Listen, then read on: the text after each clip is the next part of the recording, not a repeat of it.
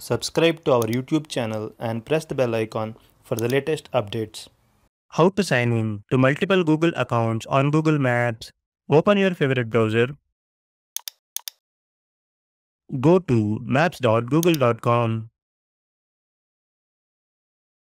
If you are already signed in to a primary account, you can see your profile picture or initial in the top right corner of the page. Click on it. In the drop-down menu, click Add another account. A new tab or window will open. Enter the email address or phone number linked to your second Google account. Click Next. Enter your password. Click Next again.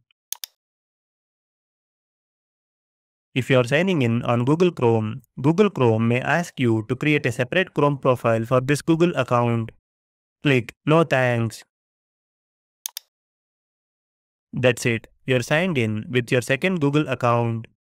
To switch between the accounts, click on your profile picture again and select the account you want to use from the list.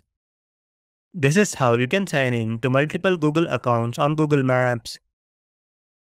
Thank you for watching.